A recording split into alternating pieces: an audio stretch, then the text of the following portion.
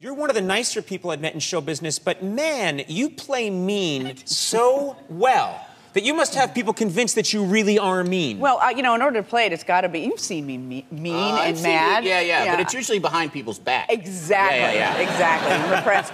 you know, yeah, I, I think it's just not far from the surface. And this is, I'm a great advocate for therapy, good therapy. Um, when you can look at that stuff, you can look at your own anger and you can laugh at it, then you can use it for your art. I mean, before before I kind of looked at it in therapy, um, it wasn't something that I could use as a, you know, something for my uh, artistic expression, if you Yeah. will. And, um, you know, I got a handle on it now. Yeah. But what's nice is I would think on after a day of shooting Glee, i i with your character, you must have just feel lighter than air. You get so this so much hate out of you. Exactly. I'm a sweetheart at home. Yeah. Because I get I get it out in the tracksuit. I want to ask you about. I want to. I want to. We found this picture of you. This was in uh, Out magazine, Oh, yeah. and it's you. I got to ask you what's going on here. In clown makeup. I love the Makeup. photograph. I, I do too. You know, I kept that makeup on because I don't like to wash my face. I like to do. I just like to get home.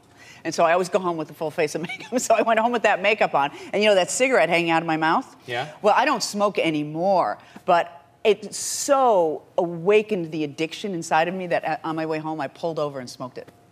I took, I took, yeah, but I wait, took it home. Yeah. But you have the cl- you had this still. With the clown makeup on. Yeah, I was. I pulled over on Fountain at. Um, I know uh, exactly where that get- is in right, Los Fountain Angeles. In West, in West, uh, in, in West Hollywood. I just um, love anyone just pulling over and you're just you're just there in clown makeup, smoking a cigarette.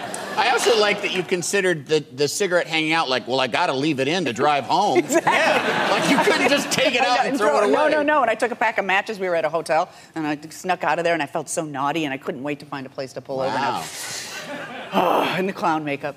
I love that you feel naughty after stealing some matches, I'm a good which are girl. which are free. Yeah, I I'm the same way. I'm always at a restaurant and I take one. They're in a bowl. Exactly. And I'm, I'm the Catholic thing too. I take one and then I'm just like, oh. They're gonna stop me at the door. I know I it. took a paper towel from the men's room.